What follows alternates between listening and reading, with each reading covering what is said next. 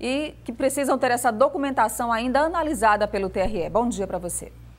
Bom dia, Nádia. Bom dia a você que acompanha o Notícia da Manhã. O prazo para o registro de candidaturas, como você já informou, terminou no sábado e no dia 6, domingo, portanto, já começou a campanha eleitoral. 366 processos deram entrada aqui no Tribunal Regional Eleitoral. São processos de candidaturas, coligações, partidos e a partir de agora o Tribunal Regional Eleitoral passa a análise desses documentos. Enquanto esses documentos não são analisados, os candidatos, todos eles, independente da aprovação ou não, da documentação está bem ou não até aqui, podem ir fazendo as suas campanhas até que sejam julgados os processos. Quem conversa com a gente sobre como vai funcionar esse julgamento é a secretária judiciária do Tribunal Regional Eleitoral, Eudiane Xavier. Conversa com a gente a partir de agora. Bom dia, secretária. Bom, os processos já chegaram. Qual é o próximo prazo do tribunal? Bem, todos os processos chegaram, 366 processos, todos distribuídos. Já se sabe os relatores, os juízes que têm a competência para julgá-los. O tribunal tem até 5 de agosto.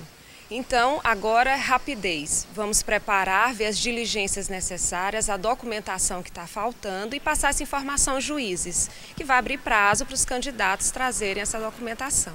Bom, então o que, é que fica permitido, autorizado para que eles façam a partir de agora, esses candidatos?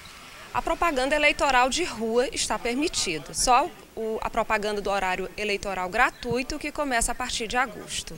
Quem tem o direito de impugnar candidaturas e quando começa o prazo para impugnação? Quem tem direito? Partidos políticos, coligações, candidatos e o Ministério Público Eleitoral. Esses candidatos vão ter os pedidos publicados amanhã no Diário Eletrônico e assim começa o prazo, cinco dias para impugnação.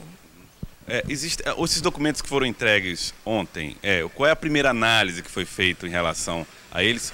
O que, é que vocês analisam na hora de aceitar essa documentação? Se estão completos, conforme a legislação. Caso falte algum documento, a gente vai fazendo uma anotação e depois vai ser uma certificação oficial ao juiz. Aquelas pessoas que quiserem olhar ou saber quem são as pessoas que estão na disputa, efetivamente na prática, elas podem fazer de que maneira? Tanto podem se dirigir ao tribunal, os processos ficam à disposição na Secretaria Judiciária, como podem olhar na nossa página eletrônica tre-pi.jus.br, já se encontra toda a relação disponível. Em relação à propaganda no rádio e na televisão, quando começa?